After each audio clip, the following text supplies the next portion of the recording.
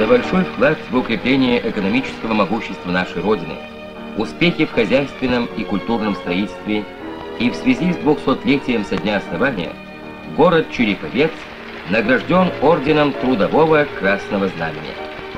На торжественном заседании, посвященном вручению высокой награды, орден к знамени города прикрепил член ЦК КПСС, первый секретарь Вологодского обкома партии товарищ Дрыдин.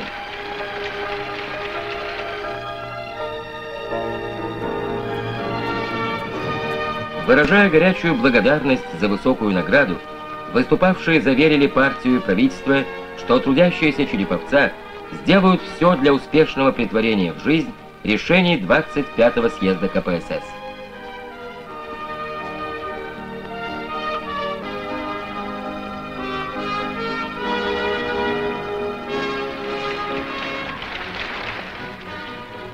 Награждение родного города вызвало у череповецких металлургов чувство гордости и высокой ответственности.